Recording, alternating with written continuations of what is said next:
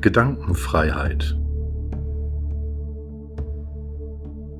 Wenn ich an deinen Mund denke, wie du mir etwas erzählst, dann denke ich an deine Worte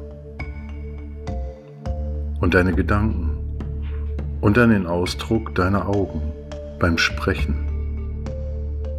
Aber wenn ich an deinen Mund denke, wie er an meinem Mund liegt, dann denke ich an deinen Mund und an deinen Geruch und an deine Wärme und an deinen Schoß und an deine Augen.